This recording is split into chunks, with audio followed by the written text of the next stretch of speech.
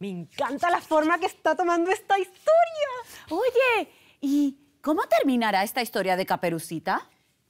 Con música y baile. Muy bien. ¿Será que le enseñas a Caperucita cómo bailar al final del cuento? Tom, el gran músico del bosque. Tom, el detective. Y ahora el gran bailarín. Me parece excelente.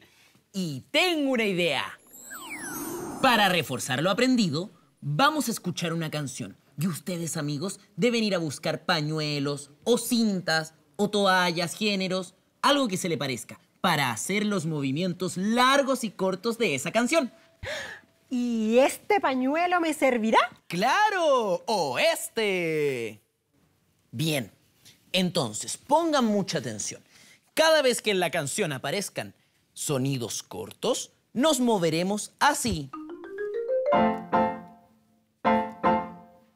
En cambio, cuando los sonidos de la canción sean largos, nos moveremos así.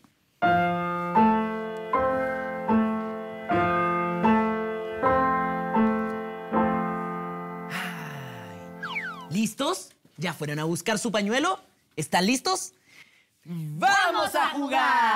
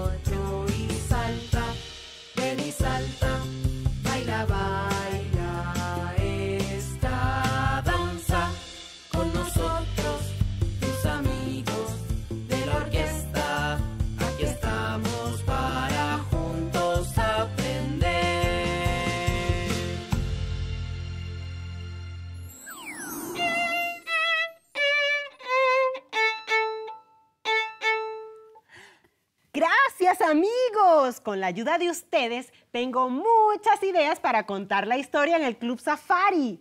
Quiero que todos los niños y niñas sepan que deben pensar muy bien antes de tomar una decisión. ¡Sí!